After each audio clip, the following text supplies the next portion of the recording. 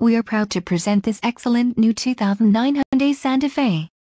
This Santa Fe has a 2.7L V6 engine and an automatic transmission.